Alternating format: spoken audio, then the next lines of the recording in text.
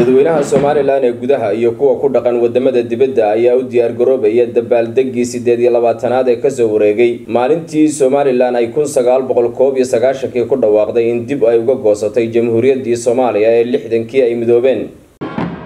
Agaasimaha guud ee wasaaradda arrimaha dibadda iyo iskaashiga caalamiga ee somalilan cabdinaasir axmed xirsi oo waraysi gaara siiyey universal t v waxa uu sheegay in munaasabadan ay ka soo qeybgeli doonaan diblomaasiyiin saxaafad caalamiya iyo madax ka socota waddamada ay somalilan wada shaqeeyaan. Qabanqaabada dabaaldega munaasabada eighteen may ee sanad gurada sideed iyo labaatanaad ee dib ula soo noqoshada xorriyadda jamhuuriyadda somalilan si weyn bay runtii uga socotaa guda iyo dibadba wufuud caalamiya baynu rajeyneynaa iyo saxaafad fara badan oo adduunka daafisa ka socota inay nagala soo qayb galaan oo tabiyaan oo bal ay wixii somalilan waxa qabadka somalilan ay qabsatay sideed labaatanka sano ee iminka inoo buuxsamay iyo wanaagga iyo quruxda ka muuqda somalilan inay tabiyaan aynu insha allah aynu rajeynayno wufuud kaloo caalamiya oo diblomaasiyiin iyo madaxa dunida ka socota iyagana way soo qayb gali doonaan.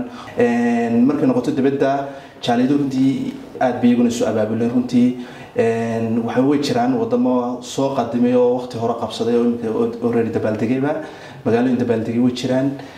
Sida sida anagu awaamiirta iyo guidelines aanu siinay jaaliyadaha iyo safaaradahaba waxa weeyaan waxaanu sanadkan aanu ku wargelinay in eighteen may la qaban doono isla maalintii ay ahayd eighteen maygeeda tan iyo intii xukuumadda madaxweyne muuse biixi cabdi ay xilka qabatay waxaa jiray warar sheegaya in hoosu dhac uu ku yimi jaaliyadaha somalilan ee waddamada shisheeye oo kaalin mugle ka qaata horu socodka somalilan gaar ahaana dhinacyada ixtiraaf raadinta iyo maalgashiga.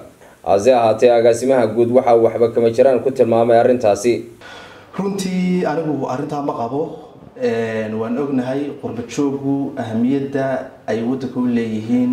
Waxa wey waa maalgashadayaasha ugu ballaaran ee wadanka maalgashada runtii ma qabo in hoosu dhac yimi. Weli sidiiba qurbajoogu ugu guntan yihiin in wadankoodu uu ka noqdo uu ka mid noqdo waddamada adduunyada adduunka caalamka sidiibana dadaalkii u wadaan wasaaradda way nala shaqeeyaan hay'adda qurbajooga oo wasaaradda ka tirsan oo xukuumaddu magarasa ugu talagashay abaabulka iyo kawarhaynta iyo soo hagista muxuu ahaa qurbajooga iyadoona way shaqeysaa. Runtii markaa dee waa iska kutar kutara ma noqon karaa in dadaalkii qurbajooga hoos u dhacay. Waxaa jira shakhsiyaad qaba in xuska sideed iyo tobanka may aan loo wada dhammayn sida xildhibaan maxamed axmed dhakool oo hadda xabsiga ku jira kadib markii arrintaasi uu warbaahinta ka sheegay sidaan kuu sheegay maalintani waa waa maalin qaran.